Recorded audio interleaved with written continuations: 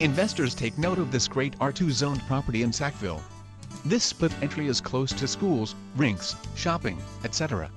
Updates include new laminate floors, ceramic no carpet, vinyl windows, 800 series doors, colonial trim, new kitchen countertops downstairs, new hot water heater in November 10, new downstairs bathroom vanity, furnace in 04.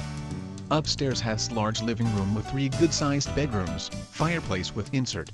The property is currently being rented both upstairs and down. Home has large garage 24 by 26 with wood stove. Wonderful family home with endless possibilities. 8 appliances included. Don't T miss out call today.